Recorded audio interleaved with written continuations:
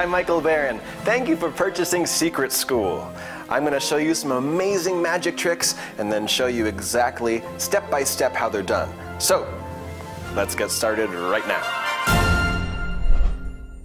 It's time for the mystery of the vanishing quarter. Watch the quarter. It goes on the table. We cover the quarter with the shot glass to make it even more difficult. To make it even harder, we take the napkin and cover up the glass. Watch, gonna make the quarter disappear. It's still there. Let's try again. Still there. Maybe if we turn it tails up.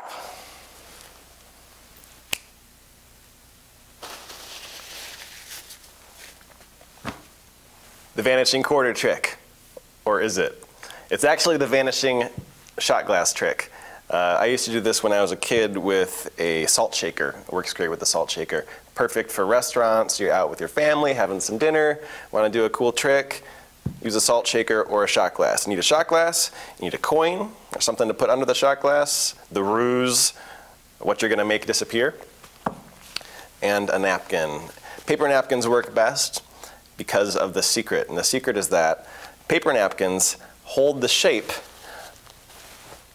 of the shot glass even after the shot glass is gone. That's sort of the secret behind the trick.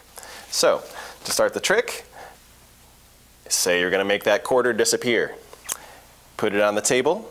Everybody's attention's on that quarter.